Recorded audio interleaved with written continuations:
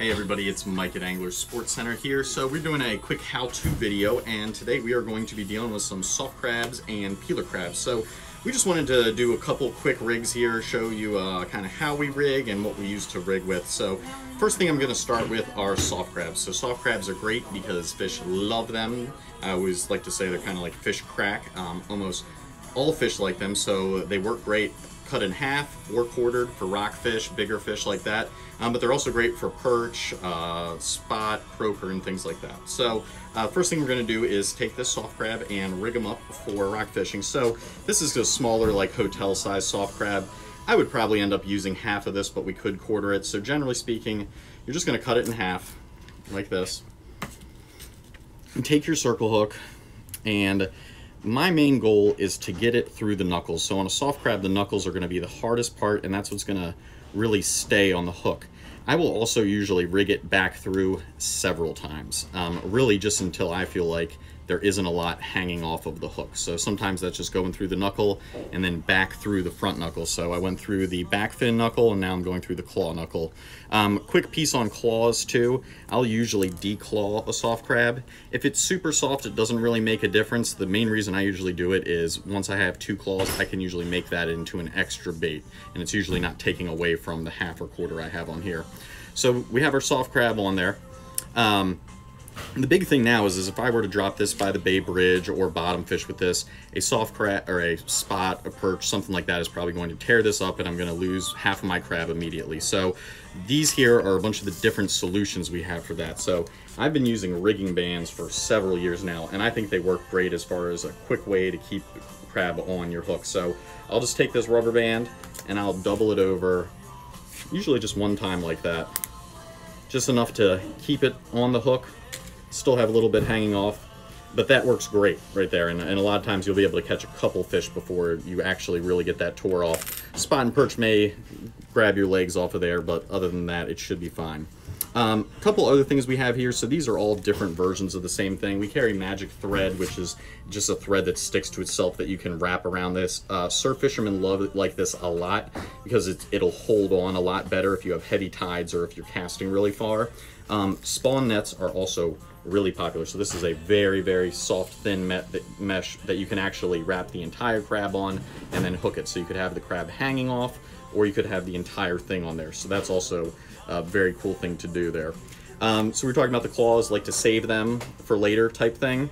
So the back half of a claw is a perfect thing to use on a perch hook. So we just did an 8-aught circle hook, which would be for like striped bass or some of your, your bigger fish out there.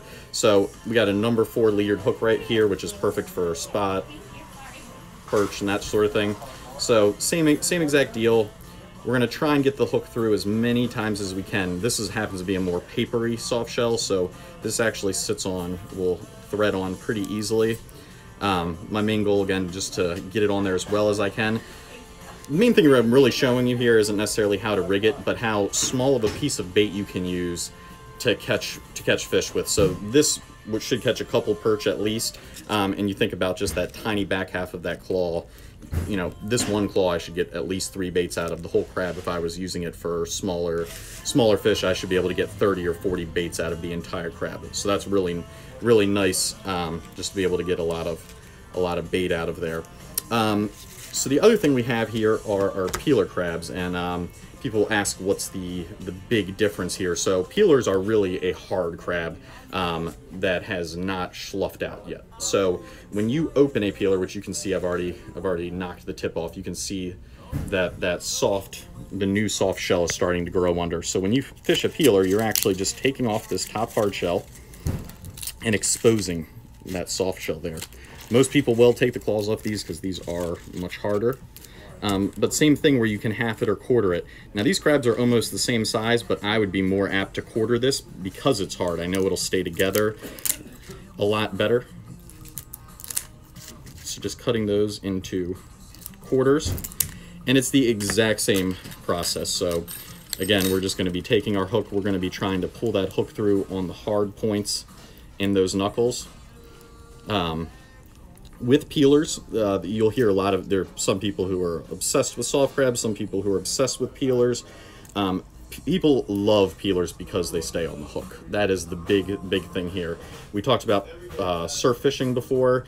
Um, it's the same thing with peelers. So you have all that energy that you're throwing this long cast out with and this huge weight and bait can easily fling off. So when you have something like a harder peeler on here, you can't really tell um, where it's hooked through, but it, it this is very firmly on there. And if I were to add, again, just a rigging band onto this, um, that's a real solid piece of bait that's not gonna come off. So, up. And as I said, it's on there really good. I mushed it to death with my hands, so it's not on there good anymore. Um,